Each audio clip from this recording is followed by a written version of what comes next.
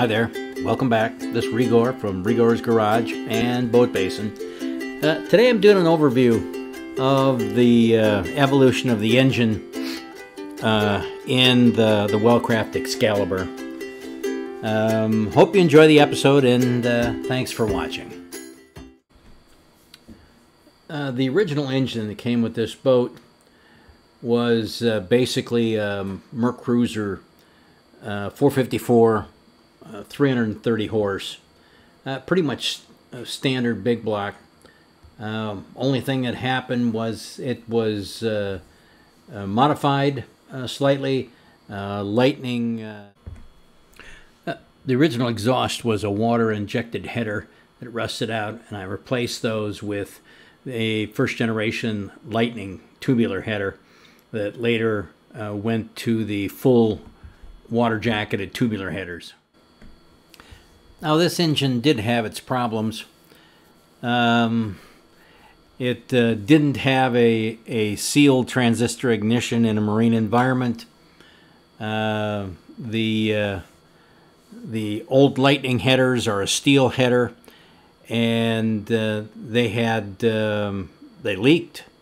Uh, they had basically rusted through in several areas. Uh, it was 330 horse. Uh, basically, on a 27 foot boat, you did about 45 miles an hour. Um, maybe 50 on a good day if you're going downhill. Uh, it uh, it just needed to be refreshed. It was uh, burning oil. Uh, of course, it always burned gas and lots of it. So I decided to have it rebuilt. Uh, so the new engine had to have a new block uh, the old block had been bored 30 over already and couldn't go any further. Uh, so we went with a, uh, a Dart block and then we took uh, basically the parts from the old engine that were, were still usable and added some um, uh, new parts like an MSD ignition. the work was done by a local shop, Atco Engine and Dyno, and um, then, uh, of course, I made the uh, cart with the wheels uh, to move the engine around while I uh, dressed it to put it in the uh, boat. another problem with the engine was the ignition. Um, it had a uh, basically an, an automotive style um, electronic ignition. Um, it got wet and it quit working. So what I had to do is uh, basically go to a full sealed MSD system. Originally, when this boat was made in 1986, it was built with water injected headers. Uh, of course, uh, exhaust gases and water form acid and the uh, water injected headers rusted out. I replaced these with a tubular first generation lightning header. Um, eventually um, those wore out and since I put together the new motor I decided to go to a full tubular header with an, an O2 bung uh, already built into it.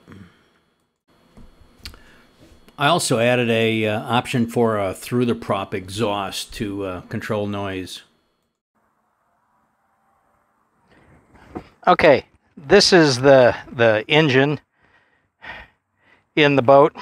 Uh, these are the headers, and what we're coming down to is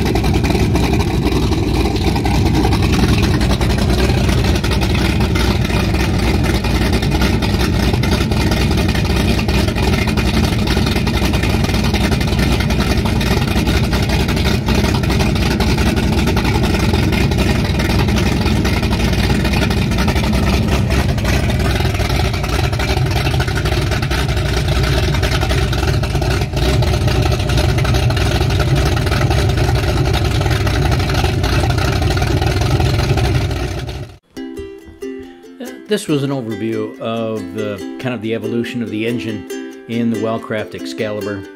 I uh, hope you enjoyed this episode, and I'd like to thank you for watching. Have a nice day now.